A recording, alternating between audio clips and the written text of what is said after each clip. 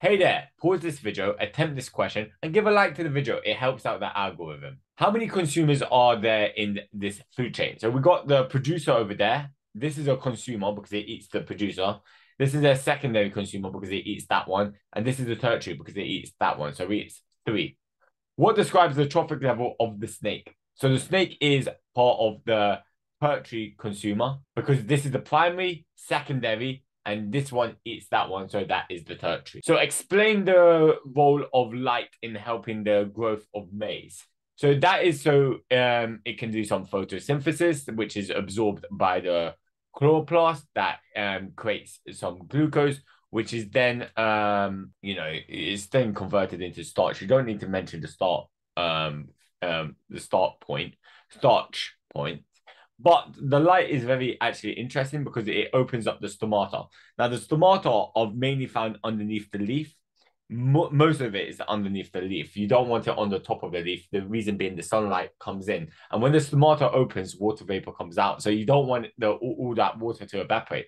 So uh, what the light does is it opens up the stomata, allows the stomata to uh, open up and allow carbon dioxide to get in because carbon dioxide is one of the things that is needed for photosynthesis. So, what are some other factors that could be affecting the growth of maize other than light?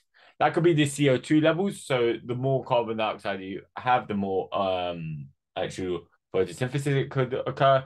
The other one might be the amount of temperature because that will affect the enzymes in the actual plant. If it gets too hot, the enzymes denature and they won't prop- work properly, and the part of uh, plant will essentially die. Another thing would be the amount of water there is, because water is needed for photosynthesis, or you could even say moisture in the air, humidity. And the last point is the minerals. Is it getting enough magnesium to create the chlorophyll? Um, there's a bunch of other minerals that are needed. Give three reasons why not all the energy available in maize is transferred to the snake.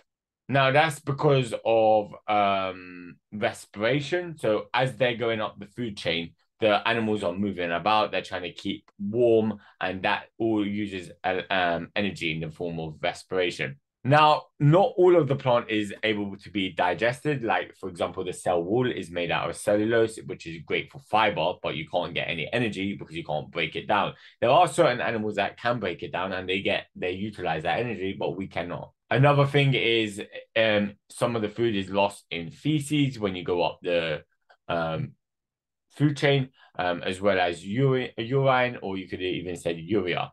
Okay.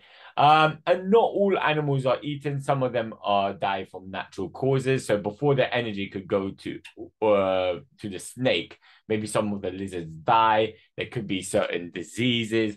Bones cannot be eaten. Teeth cannot be eaten uh, roots cannot be eaten. So all of these parts are going to be left behind and not going to be transferred to the actual snake.